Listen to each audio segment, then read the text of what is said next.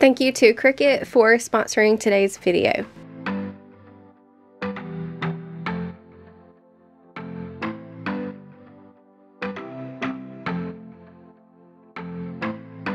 Hey guys and welcome back to my channel. Welcome if you are new. Today I'm back with a brand new mobile home renovation video and this is going to be a good one. I'm working in our middle bedroom that we use for pantry and utility space. It's also a miscellaneous catch-all space for like tools and such. So it is so much out of order right now. We can barely walk in here and it's just overall hard to get to what we need. I'm also so excited to be partnering with Cricut on today's video. I will be using my new Cricut Maker to make labels for everything once it's all organized and we're also going to make some super cute reusable grocery bags. You guys will get to see that a little bit later on, but in today's video, you will get to see me take everything out of this room. We're going to paint the walls, and then we will be adding in some shelves along the walls to get everything up off the floor and organized. We have some things in here that can come out as well. We're going to get this room 100% functional so that whenever we walk in here, we can easily get to whatever we need without the trouble. We live in a mobile home and our kitchen is limited on space, so not only do we keep our pantry items in here, but we also have our chest freezer in here as well. If you're new to my channel, this video is part of a series I'm doing right now. I'm completely renovating my mom's mobile home. I'll leave all the other videos linked down below of all the rooms that I've done so far so that you can catch up if you missed those. To get started, I'm going to take everything out of this room that I possibly can. We were having to put everything into the living room and we ended up running out of space. So I had to take half out, work with one side of the room, and then move the rest of the stuff around as I worked.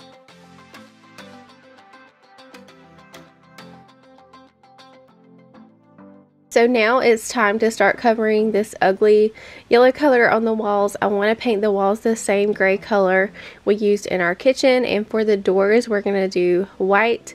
This alone is going to make a big difference in here but before I begin to paint I'm going to go along the holes in the walls and get those patched up. Because this is the pantry utility space I'm not too worried about removing the strips from the walls.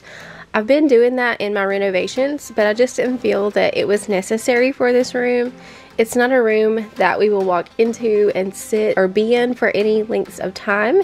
It's just to serve as a space for our overflow things. So I skipped removing the strips for this room. If it were any other room, I would remove the strips because that really makes a mobile home look less like a trailer and more like a home. As for the flooring, I talked about this in my last video, but we have plans to have professionals come in once we have all of the rooms done. So that will be the very last thing that is done.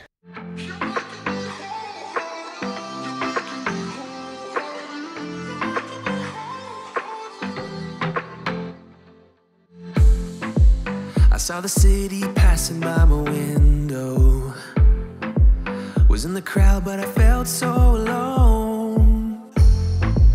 Looked at my phone like every other second. My future was blurry and numb. A tunnel where there's no light. Oh,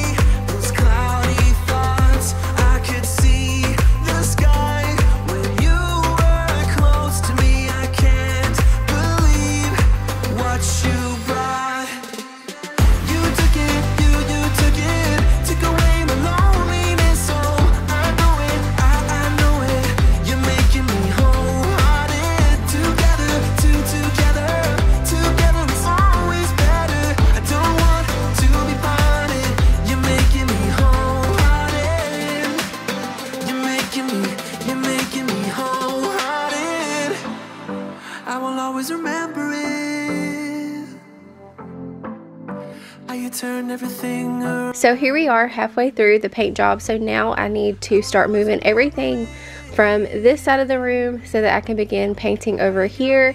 It took about three coats of white on the doors and two coats of gray on the walls to cover up all of that yellow.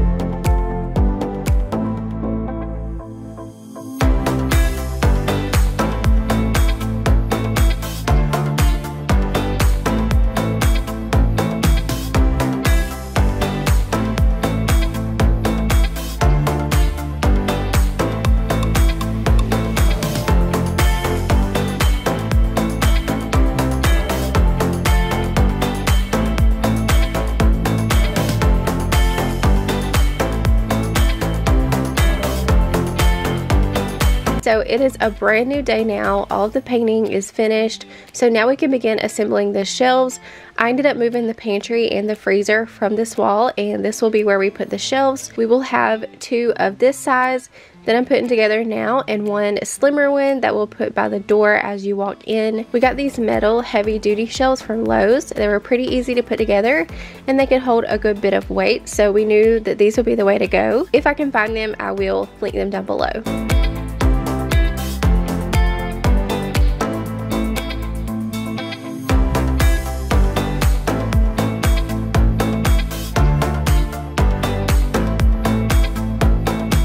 As I mentioned earlier, this video is sponsored by Cricut. I have absolutely had the pleasure of working with them on this video. So if you're wondering what a Cricut is, a Cricut is a smart cutting machine. They have several machines, but the machine that I have is the Cricut Maker.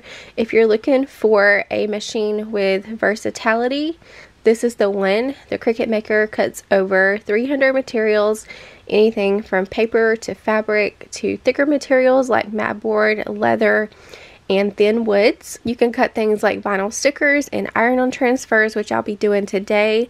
Cardstock, so you can make DIY cards for any special occasion. You can cut burlap, canvas.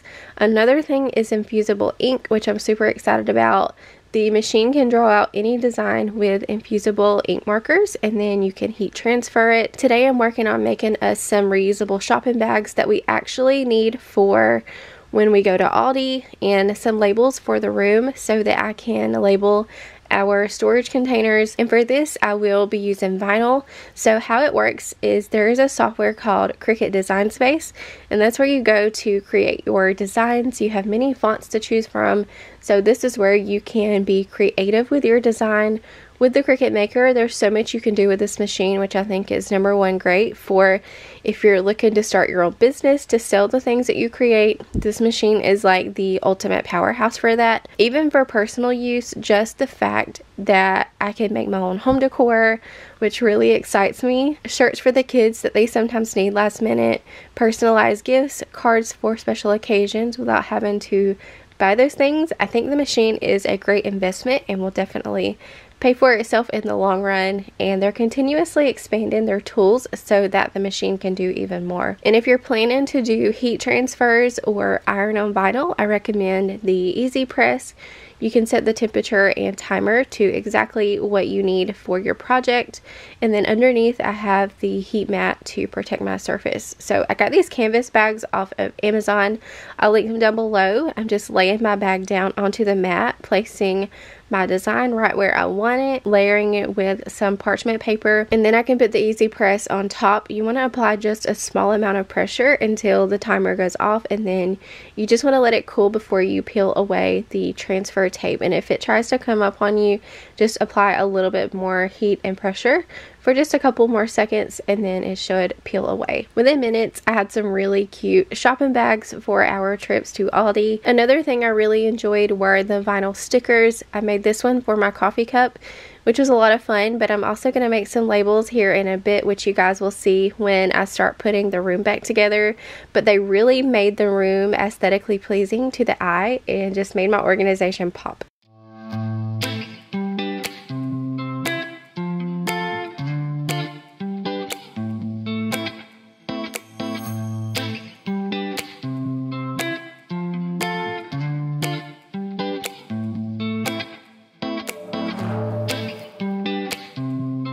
So just to kind of show you guys how I store my Cricut accessories, I use my Happy Planner case pockets for all of my Cricut tools and markers so that they aren't scattered all over the place. And then I found this container for my vinyl at Hobby Lobby. Alright guys, so it has been a few days. We finally got all of the shelving in here. We've got two of these wider, larger ones here on this wall. They pretty much take up the whole wall. There's a little bit of room there in the corner. But on this wall, we have the same kind of shelf. It's just not as wide. And that's what we have like all of our canned goods and stuff like that on. We have been putting stuff back in here. Um, it's still not how we want it. It's not as organized as we need it. we pretty much have everything back in here. It just needs to be organized a little bit better. So that's what I'm going to do today.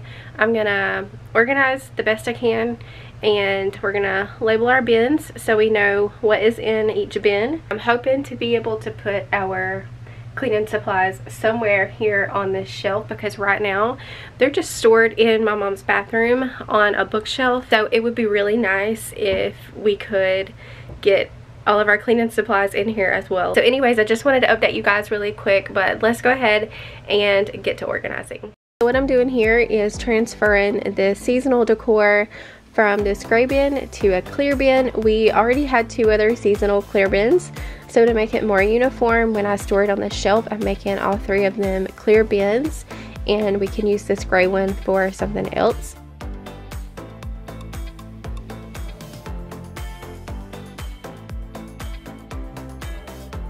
This big blue bin has all of our Christmas decor in it. It was a little bit too big to go between the shelves, so I just stuck it at the very top.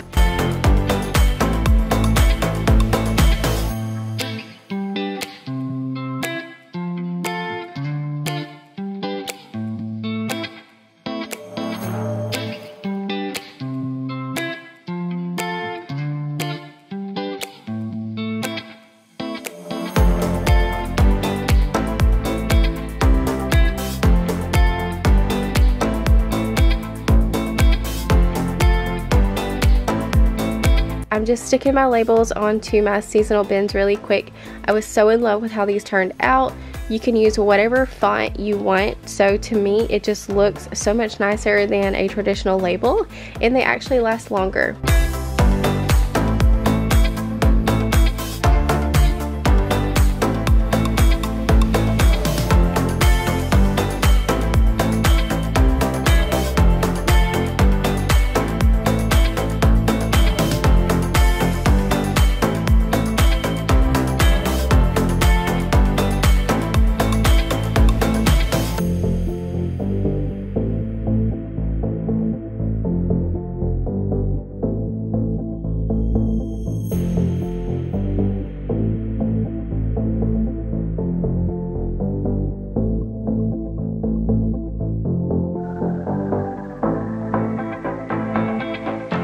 And just as I was hoping, we were able to store our cleaning supplies in here and get those out of the bathroom. So I ordered a set of these clear storage containers from Amazon. I'll link them down below. And I'm categorizing the cleaners into four different categories. I have one for kitchen cleaners, one for dusting, one for antibacterial, and one for multi-surface cleaners.